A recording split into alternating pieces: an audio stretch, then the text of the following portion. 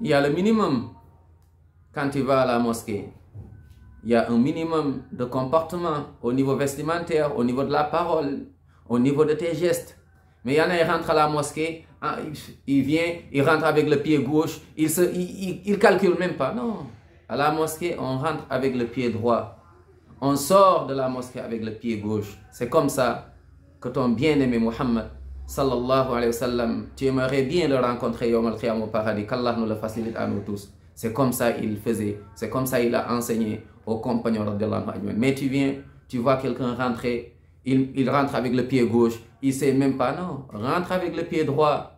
Tu dis Bismillah wa salatu wa salam ala rasulillah, Allahumma gfirli dhunubi waftahli abwaba rahmatik.